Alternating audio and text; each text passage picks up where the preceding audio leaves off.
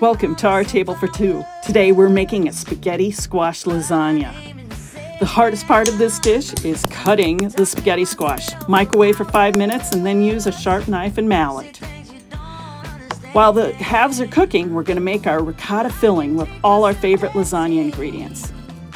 Now the meat sauce. Let's use any protein you'd like, ground turkey or even a plant-based substitute. Pull that spaghetti from the cooked squash and add it to the ricotta filling.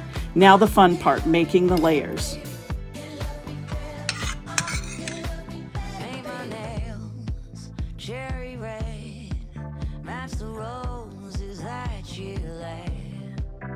Sprinkle on some melty cheese, bake, and then sprinkle with some toasted panko and a little basil. Enjoy! Welcome to our table for two. Today we're making a spaghetti